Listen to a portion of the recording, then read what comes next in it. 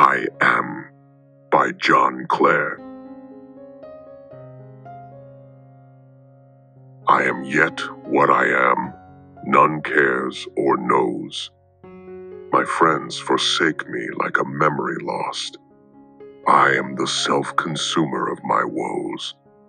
They rise and vanish in oblivious host, like shadows in love's frenzied, stifled throes.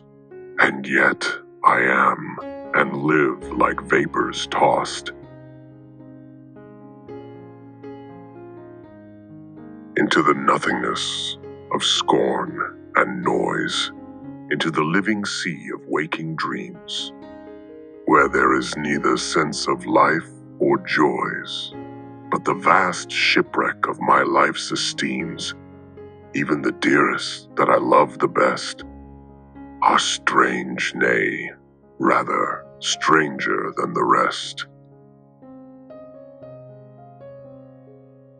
I long for scenes where man hath never trod, a place where woman never smiled or wept, there to abide with my Creator, God, and sleep as I in childhood sweetly slept, untroubling and untroubled where I lie the grass below above the vaulted sky,